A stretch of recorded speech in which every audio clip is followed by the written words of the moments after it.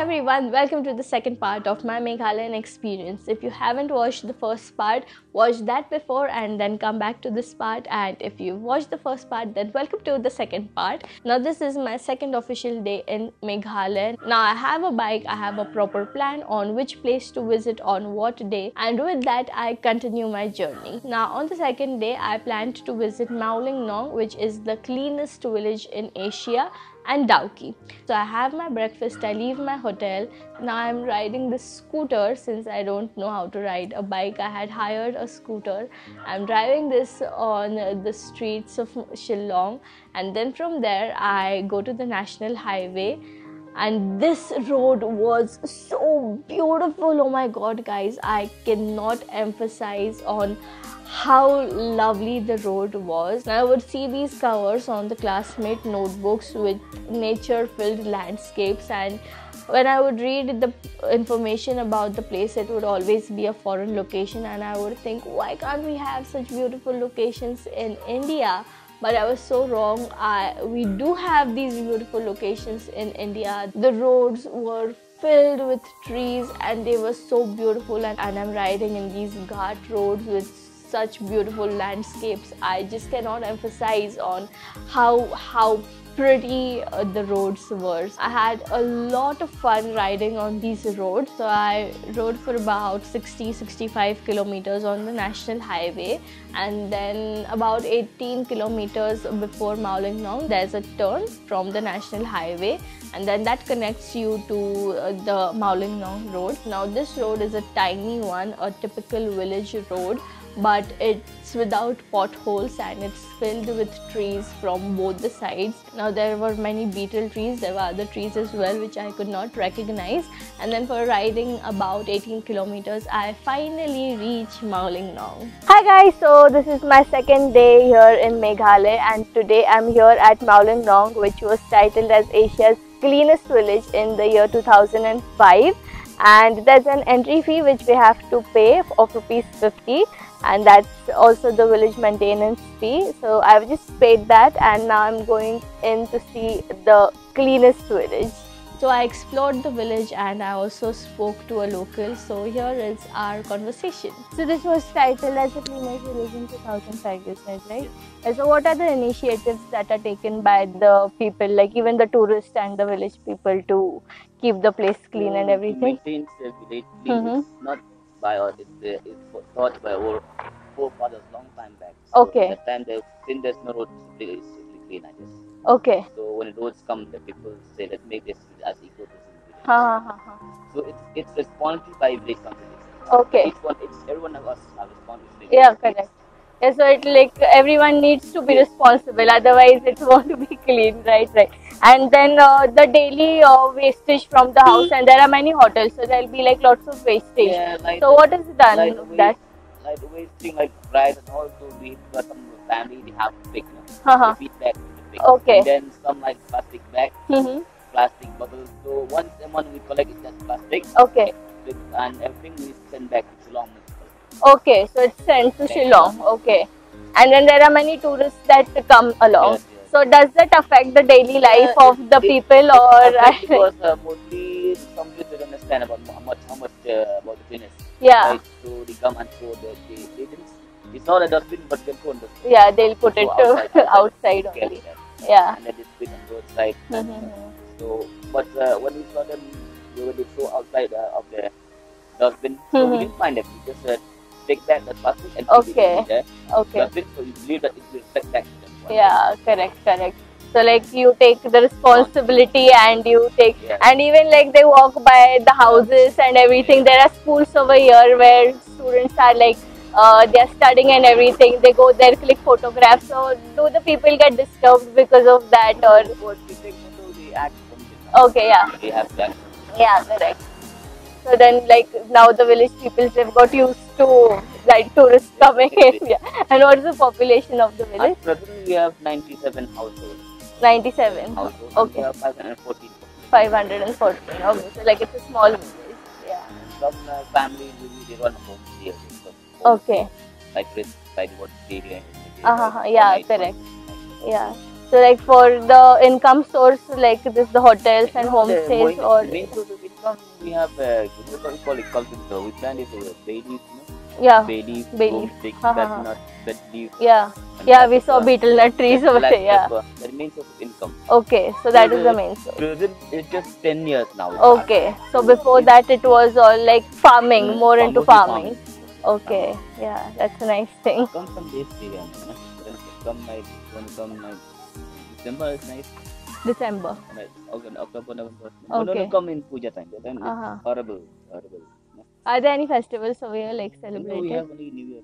Only New Year, Christmas, no other festivals. So yeah, what he said was absolutely right. We need to inculcate these habits since before. It doesn't happen overnight. So yeah, I think we all should inculcate the habit of cleanliness in us, and we should also pass it on to our next generations. And in the future, you never know. India might become the cleanest country. No, there's no harm in dreaming about that. So now I just saw the village, but there are many things around Mawlynnong which you can do. There are waterfalls, there is a living root bridge, there's a balancing rock. So there are like these few things which you can do in and around Mawlynnong. But uh, yeah, I decided to skip them and um, go to Dawki.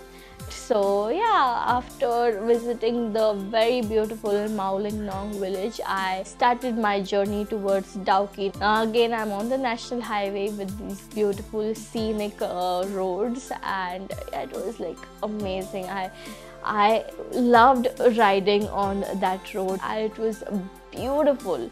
Now I reached Dawki at around five o'clock, and as soon as I reached there, it started raining. So I had to wait under a shelter a little till the rain stopped and then I took a boat to see the clear waters. So guys, my second uh, stop is the Dawki River or the India and Bangladesh border. So it was raining, that's why I'm in my rain suit and everything. And the water of this river is so clear that you can see the bottom. But uh, now because of the rains, it's not that clear. But still, I'm here. I've come by the boat over here, and I'm going to see the clear water. And from here, I'm going to go to the India and Bangladesh border.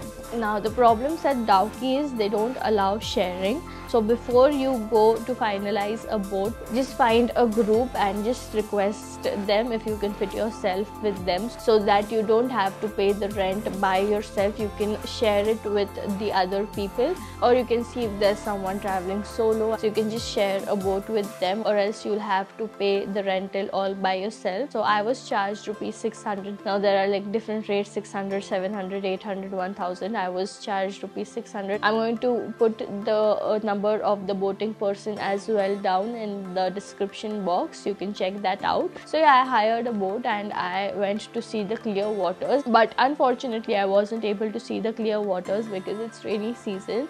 Uh, now what happens in the rains is like the muddy water it gets mixed with the uh, clear water and the water doesn't stay clear but it was okay because the river was very beautiful along with the clear waters. Dawki river is also famous as the India and Bangladesh borders. So now they took me to see the India Bangladesh border. So guys behind me that is the Bangladesh border. I was, as I was telling you guys uh, the Dawki river and the tourist over here. And that line I don't know if you can see it. That line besides that line is the Bangladesh border and we're here to the Indian side that side is Bangladesh.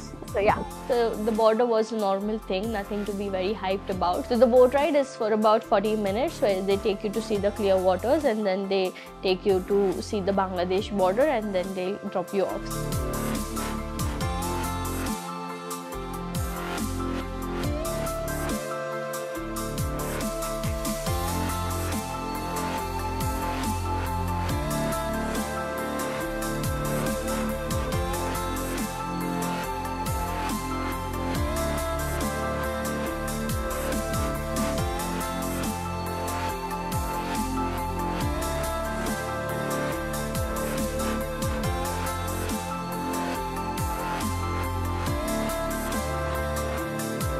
So after Dawki, I came back to my hotel. This day went perfectly as planned. I was really happy seeing these beautiful places, and I was more happy that my day went as planned.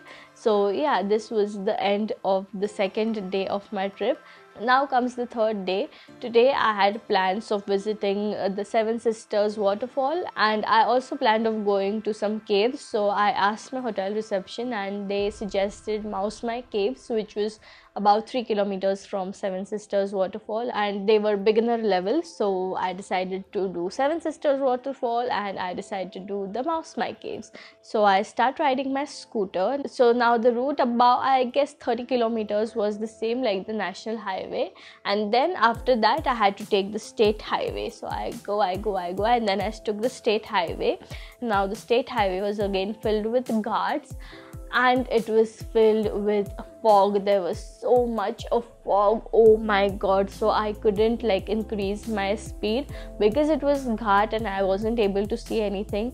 If i would have missed a single turn i would have gone straight into the valley. So yeah, i obviously didn't want to take the risk. Now riding a bike is like a normal thing but riding a scooter in a fog filled ghat is so thrilling i cannot tell you. I was like so scared while riding thinking that i'm going to miss out a turn and go in the valley.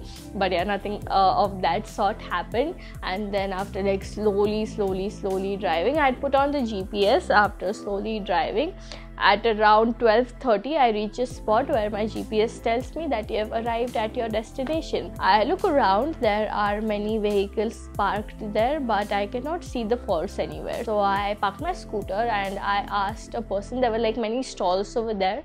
So I asked a person uh, from one of the stalls like where are the waterfalls and he pointed me like there. I'm looking like where he's like it's right over there but you cannot but you won't be able to see anything because it's filled with fog. And yes the whole place was filled with fog but still i waited there. I thought that the fog will clear out but it started getting denser and denser and i wasn't able to see anything. So i thought instead of wasting my time over there at the falls i thought why not go and do the caves until then? So i left the falls behind and i went to the caves.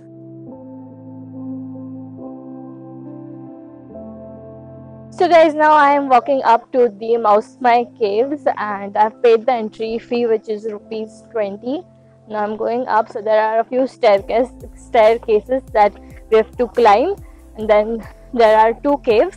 So i'm going to show you those caves. So let's go up to see them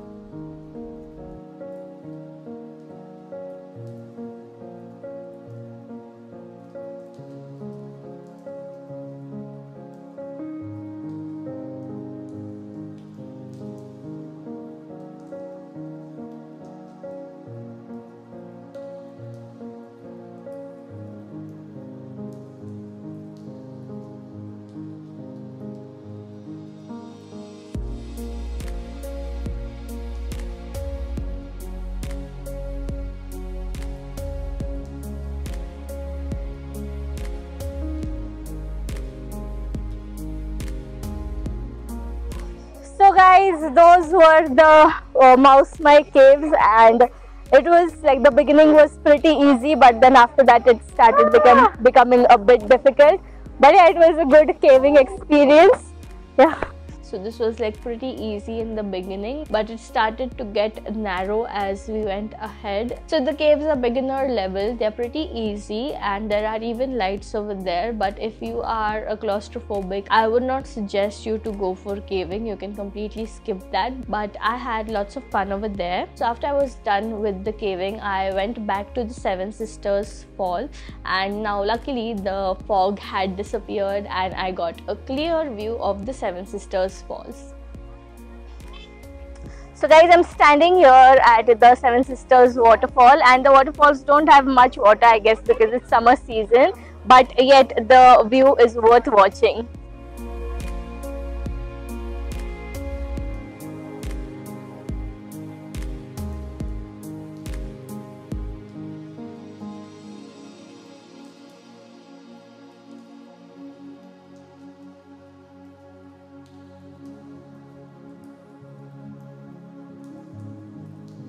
But the clear view was there just for five minutes. I took my shots and everything and as soon as i was done with taking my shots the fog started to gather again and in almost two minutes the whole place was again filled with dense fog but i was happy that i got my shots. So yeah this was my third day and these were the places that i had planned to visit. So i was happy that i was able to cover them and i was happy that mr fog left us at least for five minutes. So i completed the seven sisters fall at around uh, 4 4.30 and then i started my journey back to my hotel. As i had to sleep early because the next day i had planned to do the living living roots bridge and the living roots bridge you need to like go down and then come back up again. So i had read reviews and blogs where people were saying that it takes almost 5 to 6 hours and sometimes even 7 hours. So i decided on starting early so that i could come back in time.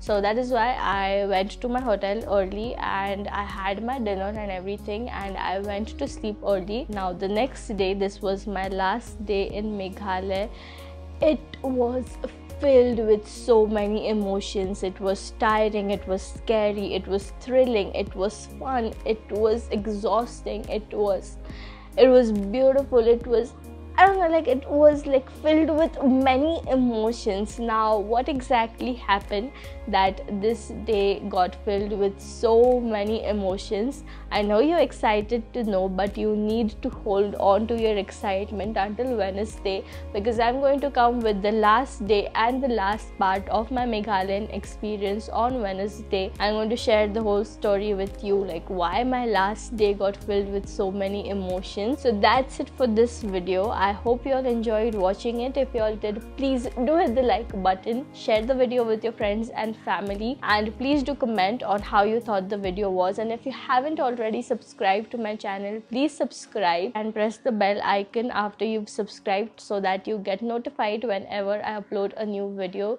And stay tuned for the last day and the final part of my Meghalayan experience. It's very exciting, filled with many emotions what exactly happened you're going to find out in the next video. Until then have a good day. Take care and goodbye